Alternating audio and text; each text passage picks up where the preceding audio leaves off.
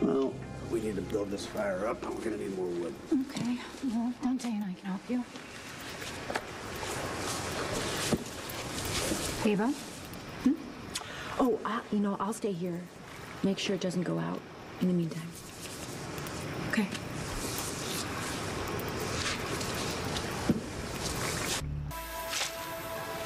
Everything okay? As well as can be expected. Jason, Yeah.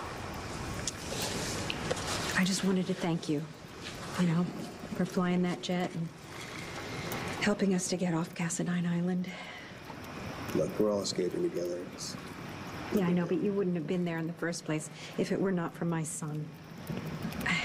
I know that Nikolas went down a very dark path during the last year of his life, but I just hope you can remember that he was a very good man for most of his life. If you could remember that, you know, just just for my sake, or if not for his son's sake. I'm gonna go check on Kevin. hey, wait, wait, wait, wait. Do you hear that? What is it? Sounds like a boat to me. Is that Naval Patrol? It's a oh. boat. Hey! Hey! Hey, hey! Over here! Over here!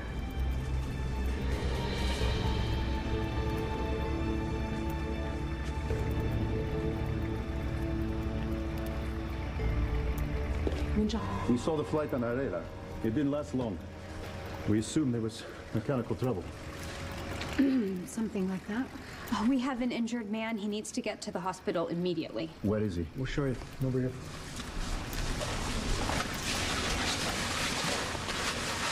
Hey, Mom. Yeah, I know, I know, we're leaving. I know. This is great news for Kevin. Yes, I know. It's just that we lost Nikolas and maybe your father, and uh, I feel like I'm leaving them behind, Lulu.